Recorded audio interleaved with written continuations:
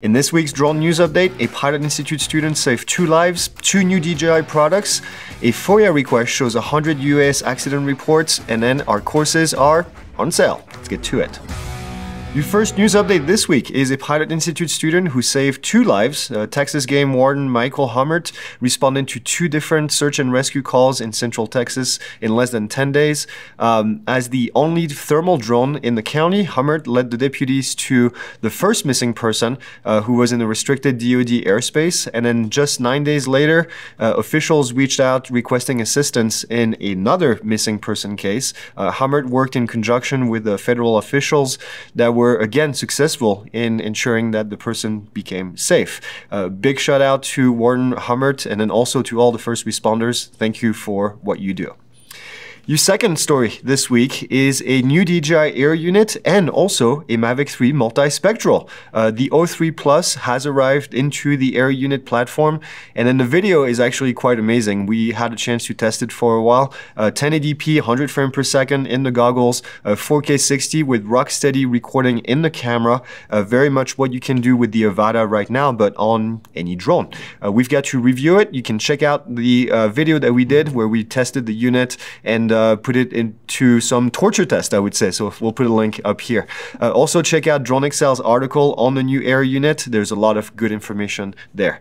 Uh, also released this week, which was kind of a surprise, is the Mavic 3 multispectral, uh, signaling, I think, the true end of the Phantom lineup.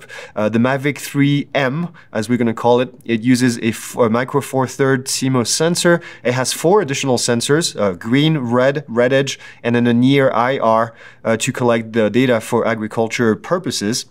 Each of the additional sensors is actually 5 megapixel, and then the main camera is still a 20 megapixel like you've seen before on other ones. As with the rest of the Mavic 3 Enterprise lineup, the Mavic 3M has an available SDK, RTK, and then also uses the, the DJI Pilot 2 app.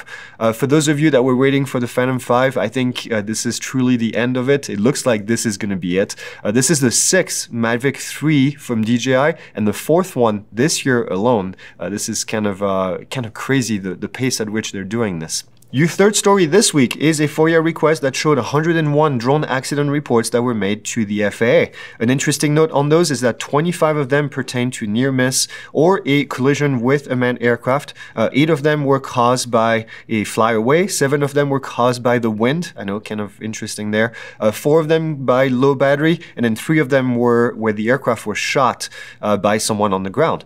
Uh, many of these accidents were due to equipment malfunction. However, there is quite a few of them where people were just being that guy. One of these reports discussed a person flying a Mavic Air 2 by an unlicensed operator who decided to go inside during the flight, resulting in the drone uh, getting into low battery mode and then landing on a girl that was riding her bike uh, that resulted in lacerations that uh, to her face that required hospitalization. Uh, remember that these are only FAA reports, not the NTSB reports. The NTSB reporting requirements are actually a lot lower than the FAA requirements, which is really uh, $500 in damage, but the NTSB is a lot more picky. So the last story this week is a good one. Uh, this is our Black Friday sale going on today and it's going strong. Uh, all the courses in our catalog are currently available at the lowest price they will be. And, and, and I mean that. I, I really mean that. We don't really discount the courses more than that. Uh, our Part 107 course is $107 right now, not $107 off. Uh, also, you'll find our uh, real estate course available for $49, our photography videography for $75, and our drone mapping course uh, has been selling like hotcakes for $199. So uh, see the full list on our website.